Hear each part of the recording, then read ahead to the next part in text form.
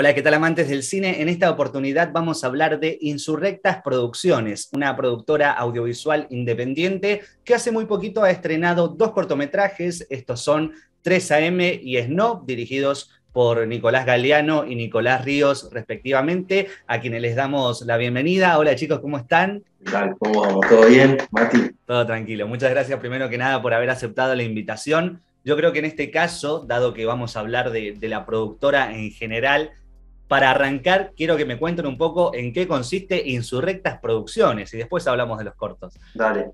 Eh, bueno, Insurrectas Producciones es una productora independiente, eh, hecha muy a pulmón para generar contenido audiovisual gratis y que le llegue al alcance de, todos y todas en, YouTube, ¿no? Eh, básicamente lo que hacemos son las cortometrajes y y nada, metiéndole, sí, como decís, hace más de un año y luchando, luchando acá en, el Anders. El cine es una lucha también. El cine constantemente es una lucha. El cine es una lucha. Pero le metemos muchas ganas y mucho tiempo, mucha dedicación, eh, mucho dinero. El cine es una lucha, perdóname, ¿no? Pero el cine es una lucha, también es un amor, ¿no? sí, obviamente, obviamente, obvio. Creo que nos levantamos pensando en cine, nos acostamos pensando en cine y por más que muchas veces decimos, ¿para qué carajo me metí? ¿Para qué carajo me metí acá? ¿Por qué no estudié una carrera? Pero es algo que, nace y que, yo creo, permitirme decir algo que Agnès Barda, una directora francesa, ¿no? como se sabe, eh, dijo que mi cine no, no, generará millones, pero por lo menos es libre. Eh, eso, eso es lo que también creo que nos impulsa, es la pasión por lo que hace uno, eh, más allá del reconocimiento, es, la enseñanza y el, el, proseguir de uno y aprender eh, sobre cada proyecto que se, encarga. Y bueno, esto también de que lo puede interpretar y ver todo el mundo es, lo que va. También, Es una satisfacción de que que no, que la gente lo ve, claro, No, no quedar como decís vos en el que no importa el reconocimiento, ya con que llegue el mensaje, lo que quieran interpretar como mensaje o lo que sea, ya es un, mimo al alma. Que salga de las cuatro paredes que, se proponen siempre y que salga para adelante, ¿no? Eh, muy bien, ahora que ya conocemos un poco más sobre la productora, podemos pasar a hablar sobre el producto o la obra, que creo que suena mejor, eh, en este caso 3AM eh, y Snob. Y yo creo que podríamos arrancar con 3AM, que es el más antiguo, entre comillas, tiene un par de meses desde que se estrenó. Así que eh, cuéntenme, introduzcanme un poco lo que es 3AM, cuál es la historia que trata, el género, etc. 3AM, sí, es género suspenso terror. la historia es de una chica que empieza a trabajar empieza hace poco a trabajar en un nuevo empleo eh, y la pasan al turno noche, eh, en un mundo nuevo que ella no conoce, a la cual tiene una advertencia de que a las 3 a.m. no atienda el teléfono, eh, y bueno, y todos sabemos lo que puede llegar a pasar si atiendes a las 3 a.m. el teléfono. Así que bueno, básicamente es eso, hacer un corto, tampoco puedo spoilear mucho, pero bueno, que, lo vean ahí en, el YouTube. Pero bueno, nada, 3AM también cuenta con las actuaciones de Nicole Esteves, de Solange Verina, que ya habíamos trabajado con ella en Hungry, eh, Esteban Prol, Diego Alonso, Fabio Di Tomaso, Gonzalo Quintana, que es un director que también lo aprecio mucho. Y nada, el 3AM es, básicamente es eso. Es un, quería volver un poco al cine de terror medio de los 80, esa vaina. Y más o menos cómo fue el rodaje de 3AM, porque por ejemplo podemos notar un diálogo que nos indica que fue hecho en plena pandemia. El guion fue escrito en pandemia. Cuando lo, realizamos ya estábamos un poco fuera de pandemia. Sí, sí, eh, ya, se podía circular. sí, ya te había... Sí, en Hungry sí, porque lo hicimos en pandemia, pero sí, el guion como fue escrito en pandemia, y tenía todavía todo ese toque que quedaba un poco de la pandemia, lo quisimos usar, eh, pero ya estaba más liberado, podíamos, podíamos grabar tranquilamente y demás. Sí, sí, sí, siempre hay quilombos igual en el rodaje, ¿no? la policía, lo que... Sí, también pero la policía, es típica nuestra, ¿no? La policía con nosotros. Con todos los avales que teníamos también, que no, no podían interrumpirnos, obviamente, pero, pero sí. Hablo por mí, no porque estoy presente, perdona. Sí, sí, bueno, estuvo laburando en 3AM con nosotros también, eh, asistente a pleno. Eh, nada, tuvo una, fue una linda experiencia. Eh, para mí era la primera vez laburar con tantos actores, que yo venía a hacer cortos en los cuales eran solamente dos y con, como mucho un tercero que con voces nomás. Y acá ya nos fuimos a laburar con seis, siete actores. Eh, en un momento, sí, como decía él, que decís, eh, ¿para qué hago esto, no? un momento ya a la noche que, que, se empieza a colapsar todo, horarios y, y, nada, pero bueno, es una satisfacción cuando terminás el día y, y esperás el material y todo lo que conlleva después. Recién mencionaste el elenco del corto y dijiste nombres bastante fuertes como Diego Alonso, Esteban Prol. ¿Cómo fue trabajar con este tipo de actores? Eh, ¿Vos te predisponés de alguna manera distinta a como lo haces normalmente o, simplemente todo fluye con normalidad? Eh, yo los vi como si fuesen otros actores más y aparte ellos eran muy, muy dados, nunca vinieron con la, la pose de ser cierta persona. Eh, yo un poco de miedo, ya cuando laburé con Rolly Serrano tenía miedo de laburar con alguien así. Pero nada, por suerte no puedo decir nada, ellos son profesionales de 10, se ponen la camiseta, eh, más allá de que los hagamos esperar como dos o tres horas para salir a escena. de la noche. Pero nada, un amor, todos los que han laburado, no, tengo queja de ninguno. Y, y, nada, fue un desafío para mí, sí, fue, era algo raro a la vez, y a la vez lo ves ahí como un actor está laburando en el mismo proyecto que vos, estamos haciendo lo mismo para, adelante y después te cae un poco, che, este loco laburó, hizo Ocupas, este, Esteban Prol, montaña rusa, miles de producción, pero ahí no, en ese momento no te cae ponerle eso. Hizo Cablín, hizo Cablín, hizo qué alto programa. Ahora sí vamos a hablar de su producción más reciente, que es Snob, un corto que en este caso está protagonizado por Nico Galeano, pero está dirigido por el otro Nico, que es Nico Ríos. ¿Qué me pueden decir de Snob? Eh, bueno, el productor también es productor, es el líder de Insurrectas. Eh, viene un día a casa y me muestra el guion. Y la idea era por ahí despegarse un poco de, la dirección en ese momento. Eh, la verdad que, fue un honor que confiese en mí y me, me propuso a, eh, darle mi visión a una historia y a un guion que, él creó. Em, y nada, a partir de ahí se, empezó a lograr en la charla, en más o menos qué es lo que tenía pensado, en no hacer correcciones al guion que cambien el guion en sí, eh, pero ir cómo podíamos aumentar, ¿me entendés?, de llevar su visión como guionista, como productor, y la mía como director, porque los dos estamos contando algo a la vez, él desde la parte narrativa y yo desde la parte eh, visual, desde los planos, porque la gente por ahí algunas veces no lo ve, pero eh, determinados planos cuentan también eh, una historia, ¿no? Bueno, es, es, algo que podemos hablar los dos porque, bueno, él es el guionista, así que, también me, me, gustaría, después yo te puedo dar el enfoque también visual, ¿no? de lo que buscamos, ¿no? es una historia de un personaje que va eh, por primera vez a, a, una psicóloga, a terapia, a terapia, y nada, y suceden cosas medias extrañas también, aunque no se muestren completamente, eh, son cosas que decís, algo por acá no anda bien.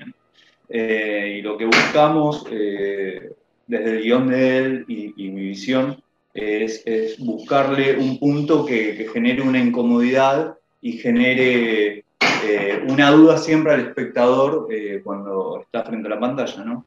Eh, es un diálogo con el espectador también, yo creo. Por eso los planos algunas veces son más personales, son o planos detalles o primeros planos, dependen en el diálogo que estén hablando. La música ayudó mucho, ahí es donde, donde voy a saludar a, un amigo querido que hizo la música, que es eh, Ariel García, eh, Formas Anónimas, eh, donde también pudimos producir lo, que se tenía en mente.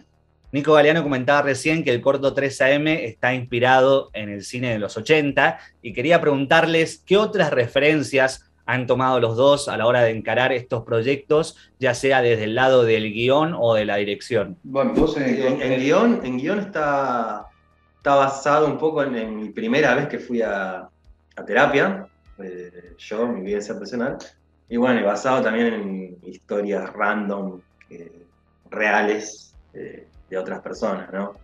En la parte de guion, eh, que bueno, Maggie Bravi interpretó a mi primer terapeuta, por así decirlo, sí, terapeuta.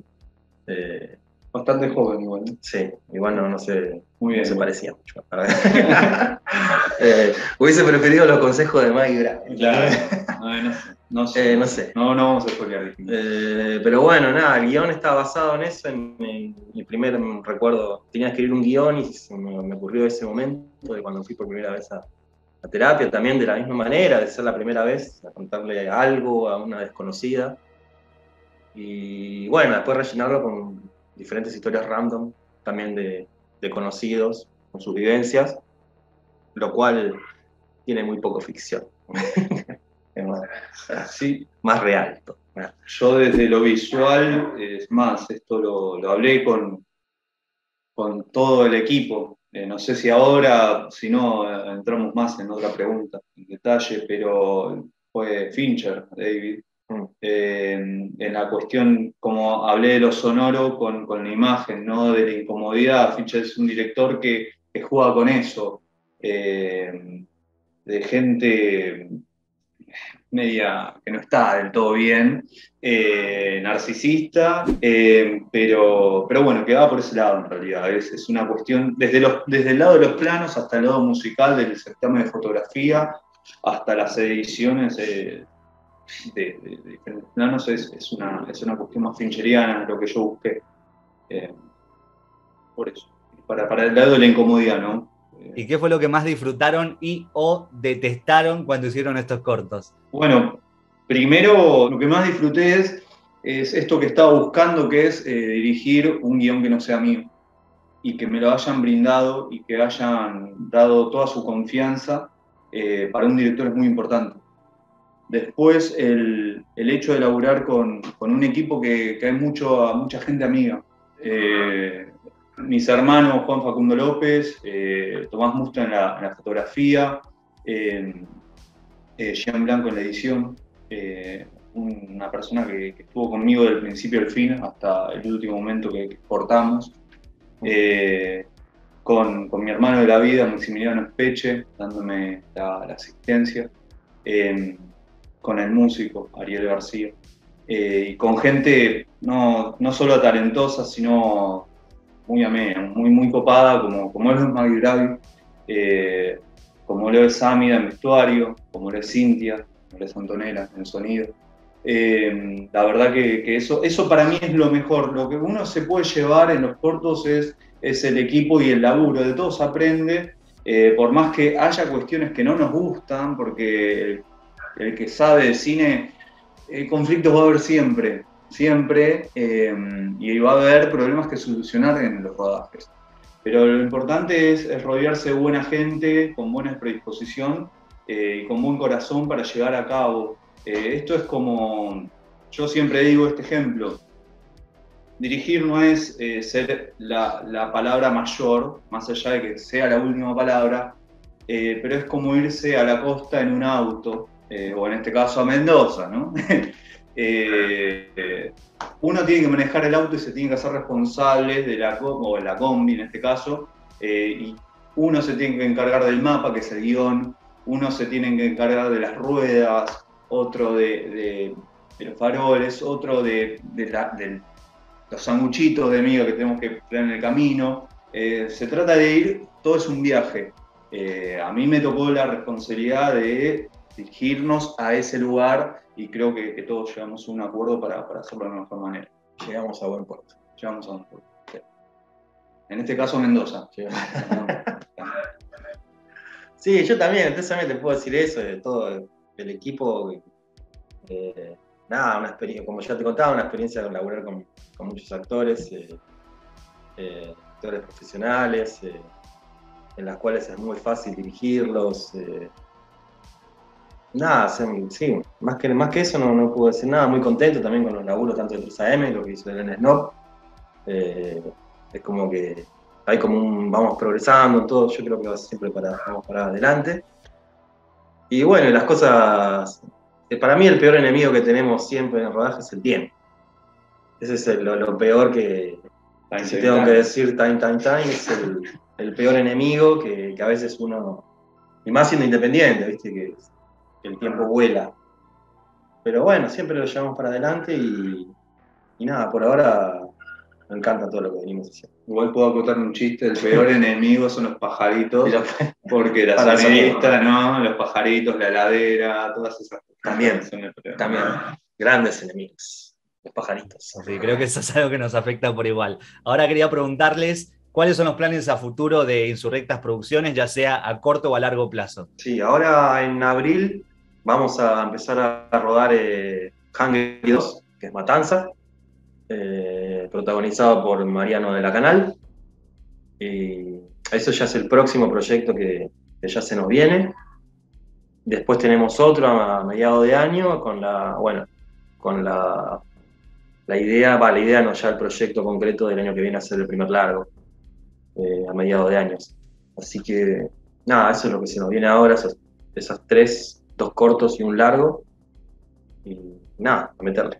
Perfecto. Ahora para cerrar les voy a dejar un pequeño espacio por si quieren agregar alguna otra información que yo no les haya preguntado, pero que quieran que la gente sepa sobre estos cortos, si quieren aprovechar para mandar saludos, agradecimientos, eh, compartir sus redes sociales y por supuesto invitar a la gente a que disfrute de todos los cortometrajes, de todas las producciones que han hecho hasta el momento.